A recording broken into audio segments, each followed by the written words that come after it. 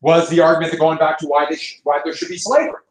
And then also this idea that all these great society programs, this government aid was going to them who didn't deserve it, who they got to cut to the front of the line, where hardworking white people are now being mistreated and being prejudiced against. And it fits in with this idea of state rights.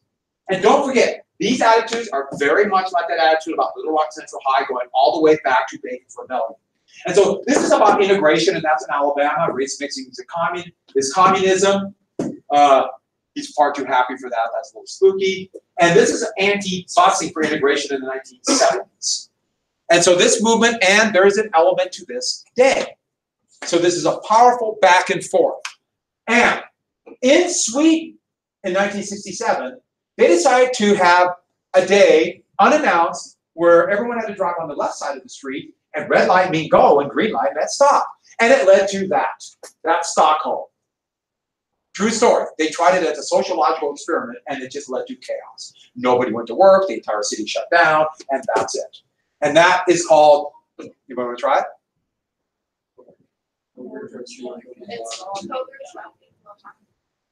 That's pretty good, but now you guys say like this, like you're German, you're not Swedish. Okay, so, huh? Yeah. So, in 1968, the Tet Offensive, and this would be a big turning point in the Vietnam War. LBJ, That's just a fun fact? yeah, just, oh, Okay, cool. just a fun fact. I thought it was fun. So why did they do that? Sociological experiment. See what would happen. And, it- and what happened was exactly what anybody could have predicted. The whole city would shut down. So, 1968, Lyndon Johnson had been telling people there's light at the end of the tunnel. And I should add, the economy was booming. This was the strongest American economy in its history. And so he had been telling everybody the war is winning. I know there's a lot of casualties, over 20,000 Americans that died by the beginning of 68. But Johnson was saying the end is near. And then it was blown up on the. there we go. The Viet Cong planned a surprise attack on the Vietnamese Lunar New Year, Tet, that informal ceasefire. An attack on January 31st, where they were going to attack every major city or base in Vietnam. And the plan was this surprise attack would trigger a popular uprising and the southern government would collapse. They were hoping for like what happened in China in 49, where the South Vietnamese army would join the Viet Cong. And by the way, Ho Chi Minh he, you know, the, you know I'm talking about, Ho Chi Minh. He was nearing the end. He by then was quite ill. He only had less than a year, or a little bit over a year left to live. But that was the plan. And it did. They attacked all major cities and did cause quite a surprise. But in the end, it failed. No popular uprising. But it blew apart the entire American view of. How can we be winning, like LBJ said, and then they do this massive operation? And the army said, We're winning, we're winning, we won. But seems like this didn't look like victory. That is on the streets of the capital, Saigon, where there's armored fighting, and they actually, for a couple days, turned Saigon into a free fire zone where they shot anybody on the streets. In the old imperial capital of Hue, Marines had to fight building by building to drive the Viet Cong and North Vietnamese out. And in the in the U.S. embassy, which was like a like a fortress, South Viet or Vietnamese, sorry, Viet Cong guerrillas blew their way in and held out for nearly a day until they were either killed or wounded and forced to surrender. These did not look like victory. And then, maybe the most famous scene in the Vietnam War, I've already showed you a couple of really famous ones, where the police chief of South Vietnam summarily executes a su- suspected Viet Cong guerrilla. And an AP photographer and an NBC news team, news team were there. And this picture was taken literally at the moment he fired. And it's on film too. It's horrific.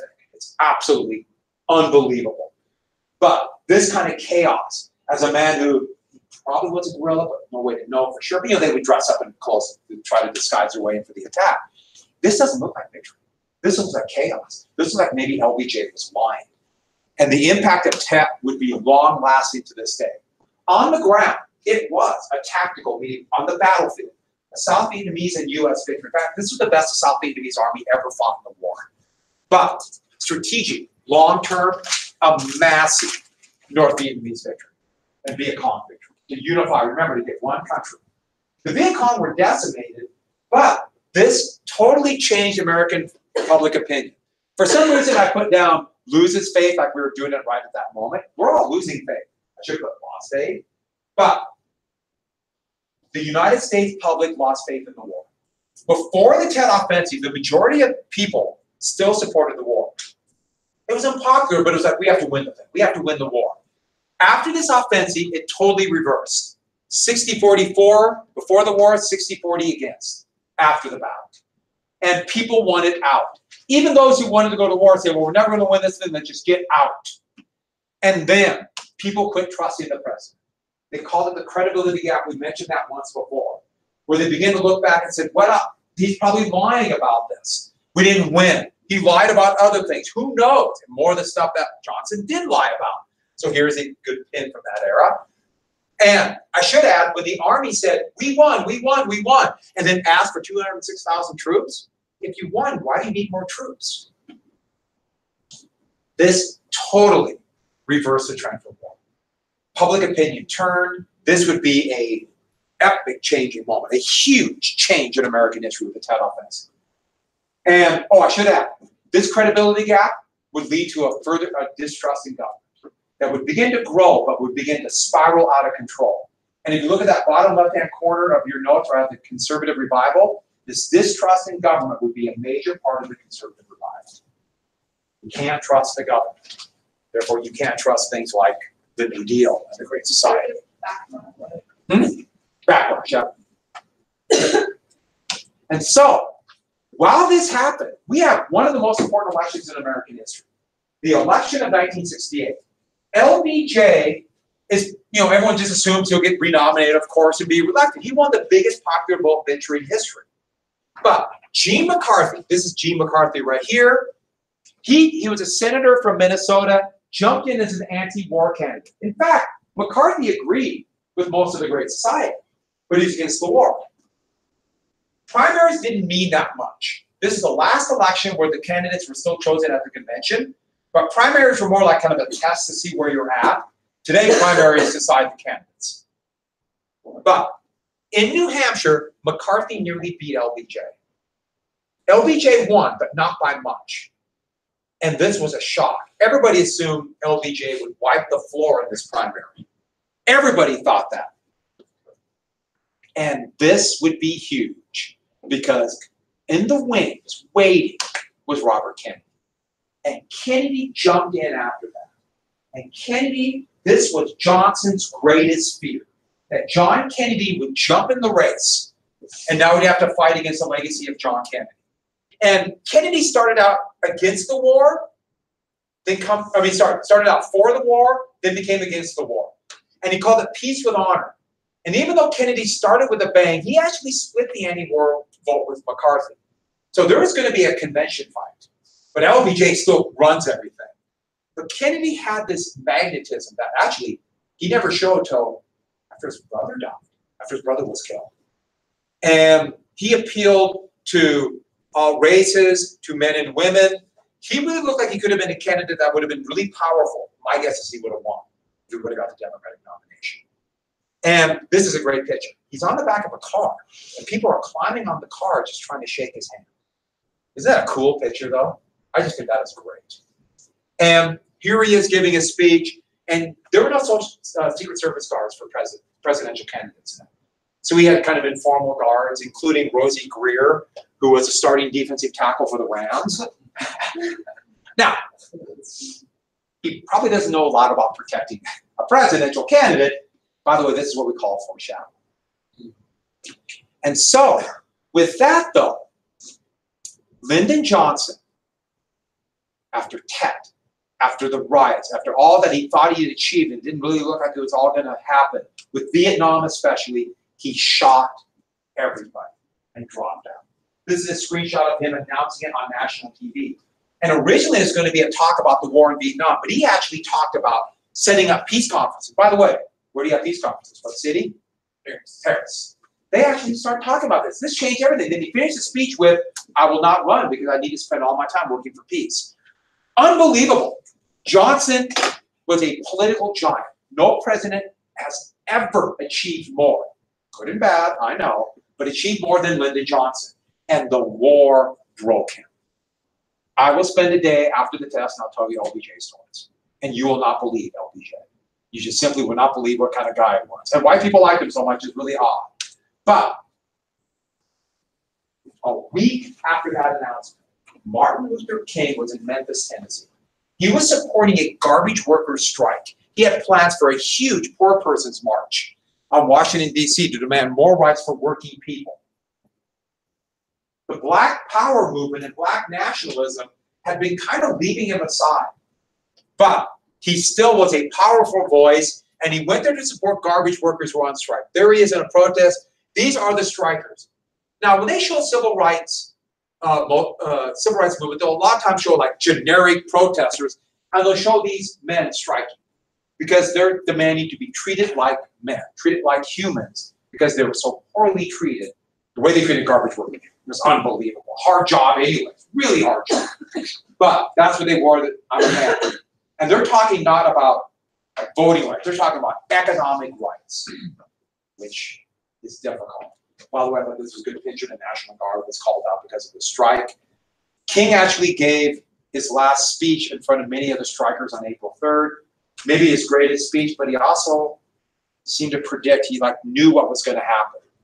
Since 1955, when he was head of, well, was a spokesperson for the bus boycott, he's had a target on his head. He knew it. They're trying to kill him. There have been attempts to kill him. He's been arrested with virtually no cause. The FBI in 1965, uh, they've been bugging and wiretapping and harassing him for years, and they caught him having extramarital affairs. And they said, we're going to let this and other information out unless he commits suicide. So they tried to get him to kill himself. So this is the kind of life he had been leading. I mean, he always knew at any moment it could end. And it did.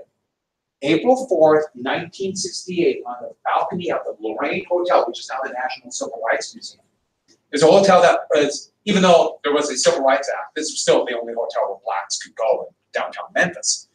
He would be assassinated, and there were police all over, but the police weren't there to protect him. The police were there just hoping he would do something so they could arrest him. And so this very famous picture with King lying, dying here, shot through the neck, and like Andrew Young, uh, Jesse Jackson, his advisor right there, you know, they're pointing to the police because the police are coming at them with guns drawn, ready to arrest them. And they're saying, no, the assassin was across the street. They're pointing to this boarding house where the assassin was. And he would die soon afterwards. They would go through a manhunt for this, but you see it right here, bloody rioting, all over the United States, especially in areas where it's a very segregated country. Protests, mostly um, African Americans hit the streets. There's an anger, distress, just totally distraught by what happened, and furious that this could happen. Like the idea we're never going to get rights. Here is that's in Detroit. Uh, that's in um, Raleigh, Raleigh, North Carolina. And here's Stokely Carmichael, telling blacks, better get your guns, he's gonna kill all of us. The convinced us whites are gonna get us all. In fact, the first gun control laws of the nineteen sixties were to get guns out of the hands of the Black Panther Party. Signed by Ronald Reagan, who was then governor of California. So this was an amazing time. And this would also contribute to a massive conservative backlash. Some of the interviews that people did at this time were shocking, saying that he deserved to die. He caught it, brought it on himself. Mostly white men saying it, but white saying it. And this is something I put this poll up here to give you an idea about Martin Luther- King.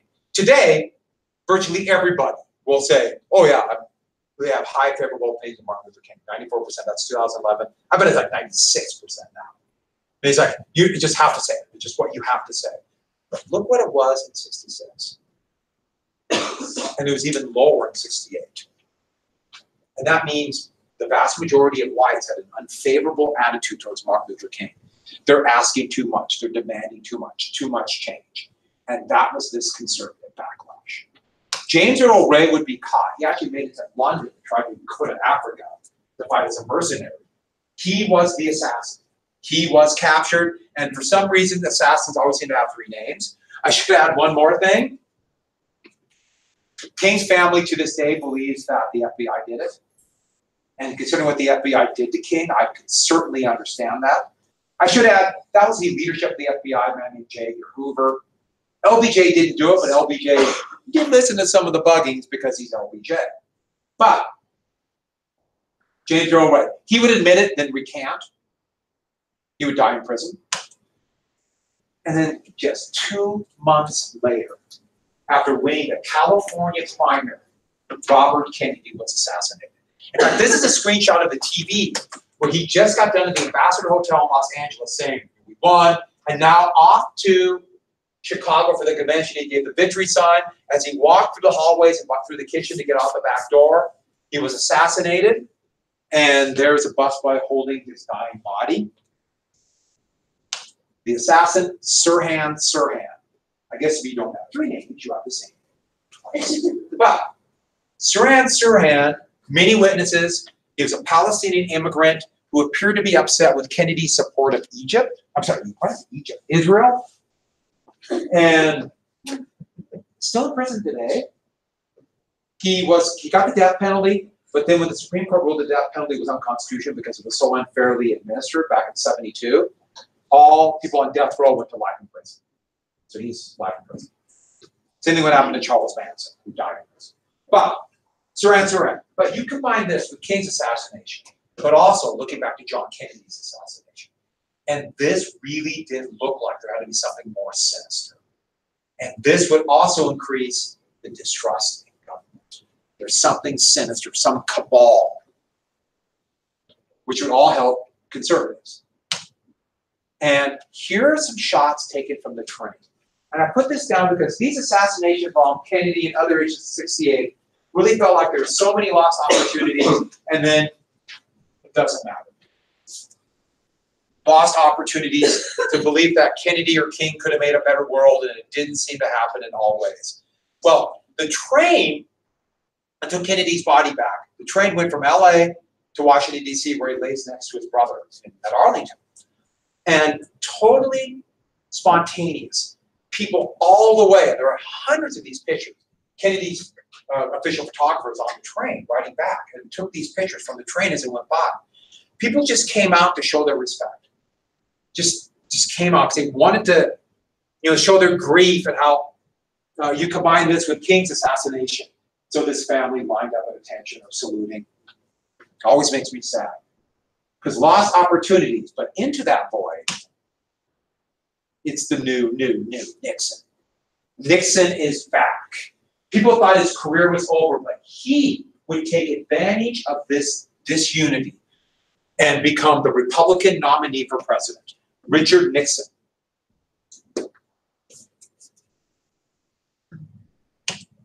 And part of his appeal, he said, I'll win in Vietnam. I have a secret plan to get out of Vietnam with victory. He would say peace with honor too. His secret plan, as we would find out later, was to never leave. But people just so wanted out of the war. Yes, true. He wanted to stay basically and use air power to hold on. But what he really appealed to, and this was so, it was clever politically, but so disunified the country to this day. He took at all those edges and said, I'm appealing to Americans who are being ignored. He called them the forgotten Americans. He would, in 1970, call them the silent majority and it was hardworking, average, everyday white Americans. They wouldn't say that, at least in public, but everyone knew what he meant. People who work hard, play by the rules. It's their sons or themselves who are the ones being drafted or volunteering to go fight. They're not out there protesting. They're not like those rich, spoiled college kids who are out there, they got all the money and they're out there protesting and nothing ever happened to them while we do the job. He appealed to them and it was shockingly effective. Most working people and union members, because unions were really strong then, voted Democratic. And this would chip away. This really chipped away. where you have a lot of union members voting again for, for candidates who were anti-union. And this would come back to bite them. But once again, Nixon formally called it the Southern Strategy, and they said law and order, we're gonna crack down on the crime. Everybody kind of knew what that meant. Also, peace with honor, He took Kennedy's term, but race. Race underlined everything. Racial issues, divide by race. Kevin Phillips was one of his key advisors, and I put them in there just so you could see what the Southern Strategy was. Phillips laid out Nixon's Southern Strategy, and then the year after, uh, Newsweek did an article about it. So it's all about Nixon's Southern Strategy. This is from 1969. There's Kevin Phillips, and this is a quote from Phillips. Can you see it?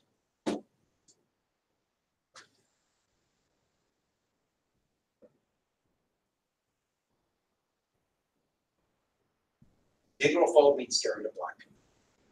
So get whites scared of blacks, they'll become Republicans. That was the strategy. It's called the Southern Strategy. Yeah, Phillips actually will come back later and kind of tried to repent from this. He was just thinking coldly, how do we win elections? By the way, he said all these states then, there'll be a 50-year Republican majority. Here we are. Because of this issue, and then to get the rest of the South, and that is the Republican, that's the, uh, um, the base of the Republican support, is what he was talking about in 1969. So that's a pretty big issue right here. And Phillips is an interesting guy. But they also want to emphasize these social issues, soon to be called the culture war. And these social issues, and now add this, the idea being that liberals, because you have liberals from FDR, Truman, Eisenhower, Kennedy, Johnson, liberals have allowed this to happen. How? They're too permissive, and now we have sex, drugs, and rock and roll. Now we have all these protests and crime. The women's rights movement was just taking off, and women demanding equal rights. And they really hit on this values. All this summed up and really personified this conservative revival. But a key piece they kept coming back to, and it's the essence of kind of this reaction. This goes back to um, years of, uh, all back to the French Revolution. But people need to know their place. Life was a lot easier when people knew their place, when they knew their place. Women should know their place. And what's their place? At home, married, with children, and that's it. Blacks were perfectly happy till a bunch of agitators got them to try to demand equal rights. Teenagers were perfectly happy and always following their parents until they got these loose values and morals. Now, of course, we should be clear about it. Life isn't like that, but that is the attitude. And this was used all the time. Here are students sitting in at Columbia, doing a sit-in to protest uh, discrimination on the Columbia University of Columbia campus. This is Woodstock the next year, uh, right there. You can see me. And oh, I'm. Grandma. Hmm? My grandma was. Really? Uh, former teacher. It's Polonus, so sub subs. It's Polonus at Woodstock. so, this is still, this cultural divide that starts here is still in many ways, you can see this is the political divide today. This is, we still live in Nixon land. And the Democrats, total disarray. The Democratic convention in Chicago was a disaster. The Democrats were split between Hawks. What do Hawks want? Stay in the war. Doves against the war. Did you say food? Hawks pro.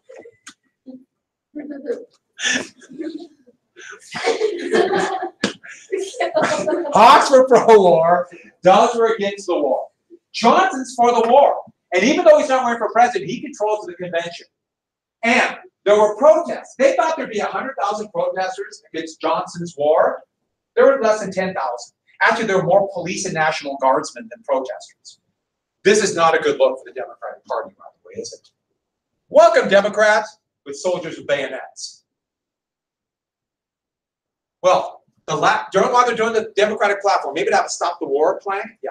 Why uh, didn't Kennedy's and King's assassination shove LBJ back into the limelight? Well, he's still obviously in the limelight. Yeah. He, he once he got out, he knew he could not get back. Okay. And It's at the Hilton Hotel, Hotel in Chicago. They have a big convention center. And so in the upper floors of it, this shows while they were doing the Democratic or trying to figure out the Democratic platform, the protesters hit the streets, even though they were told not to. There's only less than 10,000 of them. And thousands of police met them.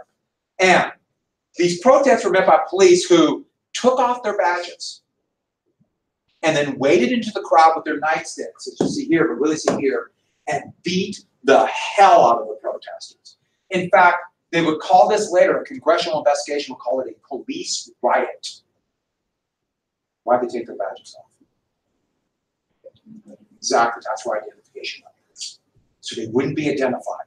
And think about what I just told you about those hardworking people that looked at it as my kids were out there fighting and you rich, spoiled kids protesting. And that divide is just ripping apart. And this is a this is actually a reporter got beat up by the police talking to another guy got beat up by the police. And this does not this made the Democrats look in total disarray. Hubert Humphrey, the vice president, would get the nomination, but he's going to be torn. The Democrats are torn apart by a group that wants to end the war. And Humphrey, who actually he actually hated the war, but had to support him because he was a vice president to Johnson. So he got the, Nomination. So what, what happened? They, they were, weren't they split between, Remember what I told you? The convention was, or the, the convention still decided the nominee. The primary, primary more like a beauty contest. Now the primary is decided. Back then, it was still the convention. so, So that, so what was the thing that got him? Johnson still controlled the Democratic Party, so he made sure he got the votes. Now, if Kennedy would not have been shot, he might have got the. And, but Humphrey nearly won too.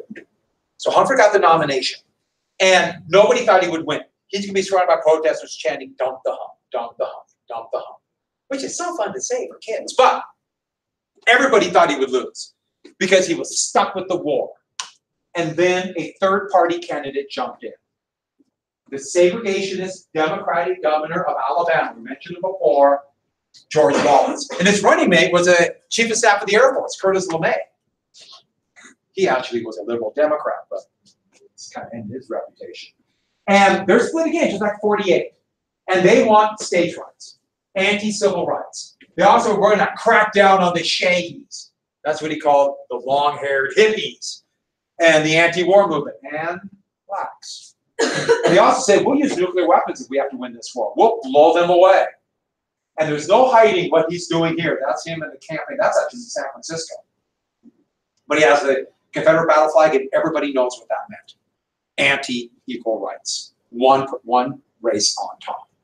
So, Nixon assumed he would win until a month before the election, Humphrey came out against the war, but it was too late. It wasn't enough. It came out too late. Labor unions, as I, I told you that split before about working people, so many were thinking, we're the one fighting this war, the hell with them, we're going with Nixon. And so it was too late, and then everything changed. Everything changed. Johnson announced we might have a peace agreement. A Paris peace agreement. And soon to be called the October surprise, it's October after the November election, we might have an agreement. And what does that mean? Humphrey might win. If Humphrey would be the Democratic nominee, they can win that election. This is huge. There's Johnson talking about it. Nixon furious. You can imagine Nixon thinking, oh no, I might lose. So in a very secret operation, we know for a fact happened because the FBI was illegally bugging them. I know. Richard Nixon conspired with the president of South Vietnam, President Thieu. That's was Thieu. And they scuttled the peace talks. South Vietnam walked out of the peace agreement. That's two. And there wouldn't be peace. At least the U.S. could not pull out till 1970, fully end the war till 1973. Here's the thing about that. The basic agreements on this peace conference in, 19, in 1968, they're almost identical to the ones they had in January 73, where the U.S. pulled out. In that time period, over a million American, or sorry, a million Vietnamese would die, and over 20,000 Americans would die. And over 100,000 would be badly wounded and mutilated because of this war. Nixon was willing to kill millions, hundreds of thousands to win the war, to win the election. And that is why he will be the only president, I will tell you, that I personally despise. That tells you everything you need to know about what type of person Richard Nixon is and about everything about his politics. And yes, that was part of the ironic joke then to give me that poster, which I keep up. So Nixon would win in a razor thin victory. And everyone thought he'd blow him out. Less than one percent in the popular vote. I know that Electoral College is 100 vote, 110 votes apart, but a few states different, especially Illinois and Wisconsin, and Humphrey would have won. It was that close. So Nixon came in as the great unifier. Huh? What? I don't know what he's doing. I think he's about ready to do his this, but he's like just starting to open his fingers up to do it, and that's when they caught the picture. So Nixon did out, even though Nixon would be the most divisive president since Andrew Johnson. Remember Andrew Johnson, the Nixon, Nixon, Reagan's vice president who, I say Reagan? Reagan's vice president who would uh, be the first president impeached. Remember, though, impeachment doesn't mean removal from office. Who'd be the only other president to be impeached? Clinton. Yeah. And Nixon did have one big advantage Apollo 11. The first human to ever walk on a soundstage and act like he landed on the moon. Happened in 1969, and therefore Nixon got all the credit. Who was the first human to walk on the moon? Who? Neil Armstrong. Then they just had a movie about Neil Armstrong, First Man or something. That's Buzz Aldrin right there, the second, second person. So Nixon had very little to do with it, but since he's president, he can bask in the glory of this. But while this is going on, the women's rights movement, fact, the third stage of this, we had Seneca Falls and then Alice Paul in the 19th Amendment, and now The Feminine Mystique by Betty Friedan, one of the most important books in American history. She wrote this in the late 1950s. This is her in the early 1970s, and it's a very good book. But in it, she writes about her experience as a college graduate, and then what do you do when you're a woman? She was a successful woman. She got married, had children, quit working, and kept a clean house. And what she said was, and she was like, okay, that's what women are supposed to be. I'm supposed to be happy. And here, I'm not happy. And she talked to friends, and she wrote a magazine article about the other women she graduated from college with, and they weren't happy either. And that's the mystique that women only need one thing in life to be happy to become a domestic housekeeper. And there's nothing wrong if that's the role they want. But her point is women need more than one avenue of success, just like men. In fact, men would see that as a trap where women are expected to only do that. Or if you want to go have a career, you're a failure. There's something weird about you if you're a woman who does that. And this would up trigger modern feminism. And she would create the National Organization of uh, Women. And their key goals was kind of a troika education, employment, and equal rights. An equal rights amendment or the ERA. Everyone got that? Education, employment, and the ERA. And it took a few years, but by 68, the women's rights movement began to grow. They would be attacked for all sorts of things, but one of the big achievements would be Title IX. And Title IX would end discrimination in education. And this law, in fact, there's few laws to have a greater, greater success and really showed a big difference. Women were routinely denied any access to any upper level classes. Women, if they went to college, in fact, the only diploma women really should get was home economics, right? Because you got to capture a husband, right? In fact, that's what college was for for women. You go to college to get married, find a husband, right? And but this would change everything. You look at honors classes and upper level classes today, and there are more uh, girls in high school, young women in high school than boys. Certainly here at Capital. And you go to college, and now there's more women in college than men. And so this has had great effect. Yes, women are still paid significantly less for a lot of reasons. Also for college athletics, high school athletics for women, they did not exist before this. I went to the very first girls basketball game at Custer County High School, that's the high school in Miles City, 1973, and it was half court, jump ball after every made basket. It could have been the slowest game ever, but obviously things would change dramatically. And birth control. birth control had a huge effect. In fact, there's no single issue more important than birth control on the pill. Margaret Sanger, we mentioned her once before, would start Planned Parenthood, and she would spend her entire life to find effective birth control. It would be through her work that the birth control pill would come, something called the pill. Here's a showing the pill with the Greek symbol for women. The Griswold decision allowed that to be open, but there's nothing that's more important for equal rights for women than birth control. Economically, women could now, or it's more difficult to deny women jobs because, well, they're gonna get pregnant someday. They're gonna have children, so they don't. Why are you out? The bell rang. There's no bells. There's bells now. And so, let me finish real quick with the pill. Why are people out? This is a scam. Let me finish real quick. But the big issue is women were routinely fired if they were pregnant or anything. I didn't get, I didn't get to the last thing I wanted, but make sure you know what Roe versus Wade, you punks. I will review at lunch tomorrow, or today, tomorrow, but tomorrow night. Six o'clock, who's bringing pizza? Like Hawks, I'm always hungry. Oh, no, the coming for yes.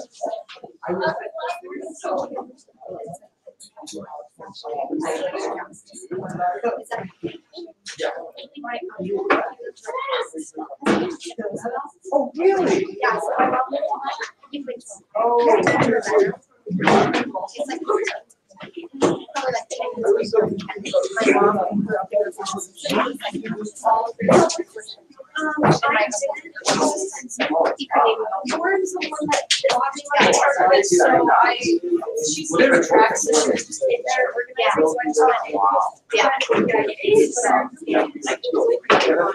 Um, how was your uncle? And Lauren's trying to organize them like size, yeah. Now you're like six, wow.